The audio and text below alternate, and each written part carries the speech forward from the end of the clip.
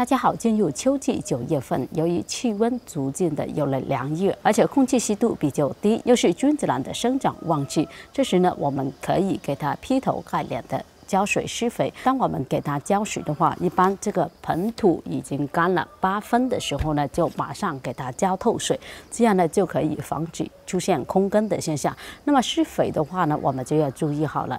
无论是在哪个季节给它施肥，一定要遵循薄肥勤施，在生长旺盛期也不例外。那么在这个九月份，我们除了给它使用这种。芝麻饼肥做根部肥之外呢，平时养护呢也要辅助一些水溶肥，才能让植株吸收的快，吸收的好。那么我们为什么要给它薄肥勤施？如果施肥过多，就会引起烧根，导致烧苗。其实原因与腌菜的原理是一样的。我们在腌菜的时候给它多一点盐分，就有效的把菜中的水分抽出来。当我们一次性给它施肥过多，土壤中的水分还有浓度突然升高，君子兰不仅不能从土壤中吸收到水分，还会使根部保留的水分也倒抽到土壤去，导致其株体内严重缺水。结果呢，这些叶片就出现了萎蔫，还有枯死的现象。所以呢，我们在给它补充水溶肥，比如像这种兰科营养液的时候呢，每次浇水带上的话，就一比一千五或者是两千，都不会出现任何烧伤、烧根的问题，